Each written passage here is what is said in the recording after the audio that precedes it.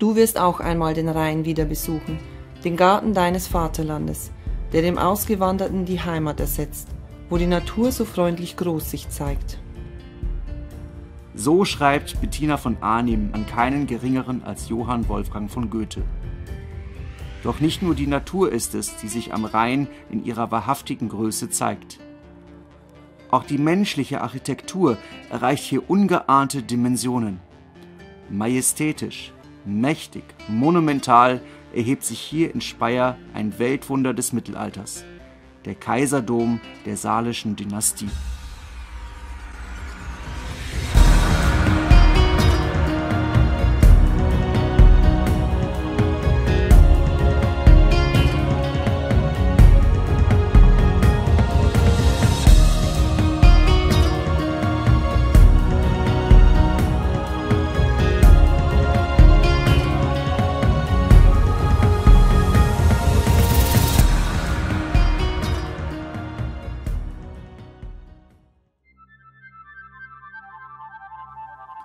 Speyer am Morgen. Eine Kulturstadt erwacht zum Leben. In ihrer Mitte ein UNESCO-Welterbe. Der Dom zu Speyer gilt heute als die größte romanische Kirche der Welt. Er wird im 11. Jahrhundert als Machtsymbol der salischen Königsdynastie errichtet. Durch ihn zeigen die mächtigen Salier ihren Herrschaftsanspruch und ihre Verbundenheit zu Gott. Nach dem Aussterben der Ottonen gelangt im Jahr 1024 nach Christus Konrad II. an die Regentschaft im Heiligen Römischen Reich. Unter seiner Führung ergeben sich zahlreiche verwaltungstechnische Neuerungen. Burgund wird jetzt Teil des Imperiums. Ehrgeizige Ministerialen erleben ihren Aufstieg und der Burgenbau erreicht neuartige Dimensionen. Der König selbst sieht sich in der Tradition seiner Vorgänger als Schutzherr der Kirche und von Gott erwählt. Gleichzeitig möchten die Salier durchgehend Einfluss auf die Kirche nehmen und eine Reform derselben anstreben. Verantwortlich dafür sind die Reformgedanken des Klosters Cluny. In seinem Verständnis von Macht setzt Konrad II. noch vor dem Jahr 1030 den Grundstein für den Kaiserdom in Speyer. Der Dom wird zu einem Zentrum des Reiches werden Wichtige Handels und Verbindungsstraßen laufen auf ihn zu. Die Weihe des Doms erfolgt bereits im Jahr 1061. Unter Heinrich IV. ist der Dombau in Speyer vollendet. Die Ausmaße des Bauwerkes sind überwältigend. Fast 134 Meter Länge misst die Kirche. Das Mittelschiff selbst ist alleine 33 Meter hoch. Der Dom nimmt die Form eines Kreuzes an, auch die Maße von Höhe und Länge die Anzahl der Stufen um das Portal, die Gliederung der Apsis, alles nimmt hier detailliert geplant Bezug auf die biblische Sprache der Zahl. Weltliches Leben und Vollendung werden gleichzeitig zum Ausdruck gebracht. In seiner Bauweise folgt der Dom dem damaligen Zeitgeist. Er ist somit ein romanisches Bauwerk. Was bedeutet dies konkret und welchen Beitrag hat der Dom für das heutige Verständnis von der Romanik geliefert? Heute, nach der Zerstörung von Cluny, ist der Speyerer Dom die längste erhaltene romanische Kirche der Welt. Also die Ausmaße sind wirklich ganz gewaltig und der Speyerer Dom ist auch stilbildend geworden für die Romanik.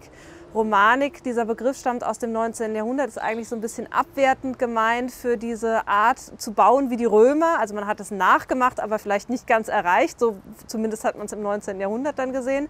Und kennzeichnend sind eben Stilelemente, die wir auch aus antiken äh, oder an, von antiken Bauwerken kennen nämlich die Rundbögen und die Gliederung der Fassaden oder auch der Innenräume, der Wandflächen durch Halbsäulen, Dreiviertelsäulen oder auch Wandvorlagen und äh, eben die Kapitelle, die oft auch in Anlehnung im Stil äh, antiker Vorbilder gehalten sind. Viele romanische Elemente des Doms sind hier mit einer derartigen Perfektion und dermaßen beeindruckend konstruiert, dass sie zum Vorbild für zahlreiche andere Bauwerke dieser Zeit werden. Auch wenn die Kirche unter einem großen Brand von 1450 der Zerstörung der Stadt unter dem französischen König Ludwig XIV. und Verwüstungen durch französische Revolutionsheere zu leiden hat, kann der Dom ab 1818 unter König Max I. von Bayern wiederhergestellt werden. Trotz der zahlreichen Katastrophen und der Restaurierungen im Stile des 19. Jahrhunderts lassen sich heute noch die einprägsamen Stilelemente der romanischen Baukunst bewundern. Zum einen haben wir hier im Hintergrund auch sichtbar an der Apsis und auch am Querhaus um den ganzen Dom umlaufend eine Zwerggalerie. Also das ist dieser Säulengang direkt unter der Dachtraufe.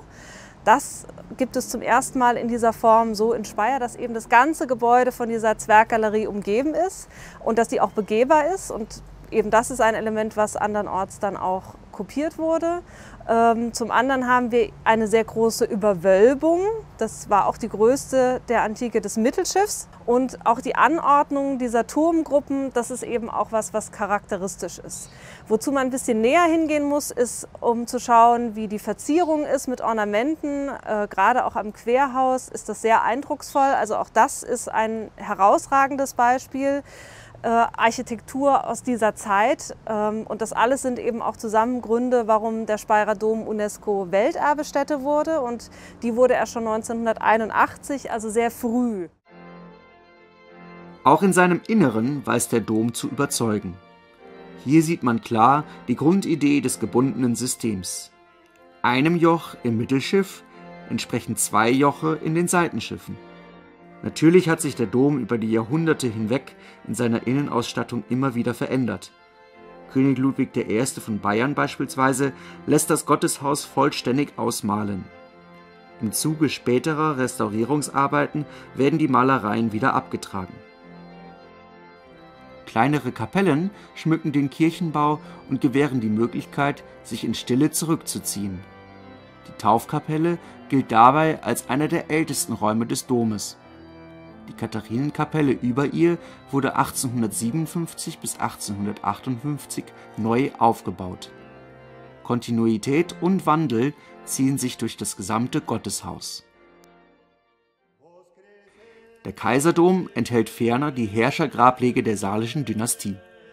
Neben dem Erbauer Konrad II. sind hier seine gesamten männlichen Nachkommen Heinrich III., Heinrich IV. und Heinrich V. bestattet zudem vier weitere Könige des Mittelalters.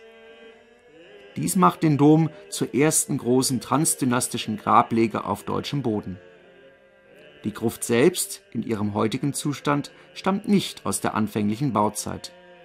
Nach Grabungsarbeiten Anfang des 20. Jahrhunderts hat man versucht, die Kaisergräber für die Bevölkerung wieder sichtbar zu machen. So können diese heutzutage über die Krypta erreicht werden wir stehen jetzt in der Krypta des Domes, das ist die Unterkirche. Die Krypta in Speyer, Superlative sind ja das Kennzeichen des Speyerer Doms, ist die größte Hallenkrypta, die es gibt, zumindest nördlich der Alpen. Ähm, zeigt einfach von den Dimensionen her, sowohl von der Ausdehnung als auch von der Höhe der Gewölbe, die sind sechs Meter hoch fast, dass diese Kirche mit einem besonderen Anspruch erbaut wurde. Die Krypta hat eine strenge geometrische Gliederung, ist in äh, drei Arme gegliedert. Die Krypta umfasst die Fläche des gesamten Querhauses des Speyerer Doms und der Apsis, also eine sehr große Fläche. Und äh, dieser Bereich, in dem wir jetzt auch stehen, das ist der nördliche Querhausarm, der ist unterteilt in drei mal drei Gewölbejoche. Drei ist ja eine himmlische Zahl, die Trinität, die göttliche Dreieinigkeit, die ist quasi hier verbaut. Und es ist auch Kennzeichen ohnehin der romanischen Architektur, dass eben geometrische Einheiten äh, streng, das heißt ohne viel Dekor gestaltet sind und sich eben wiederholen. Und was damit ausgedrückt ist, ist die göttliche Ordnung. Von der Krypta hinauf in den Kaisersaal. Hier Oberhalb der Vorhalle befindet sich ein Raum, der mit der Errichtung des neoromanischen Westteiles entstanden ist. Zu sehen sind da die neuen Fresken, die im Zuge der Domrestaurierung von den Wänden abgetragen worden sind. Im Mittelschiff verblieben ist schließlich nur ein 24-teiliger Marienzyklus. Vier Malereien stellen hier einen Stephanuszyklus, vier weitere einen Zyklus um Bernhard von Clairvaux dar für die Darstellung der Marienkrönung aus der Apsis ist eigens eine Kuppelkonstruktion errichtet worden. Von der hier zugänglichen Aussichtsplattform ergibt sich ein Blick über ganz Speyer und das Umland. Mächtig und alles überragend blickt der Sakralbau in Land und Zeit. Der Kaiserdom hat Jahrhunderte überdauert, Kriege überstanden und Frieden erlebt. Er ist Zeuge einer längst vergangenen Geschichte, Vorbild eines gesamten Baustils und Denkmal für die Ewigkeit.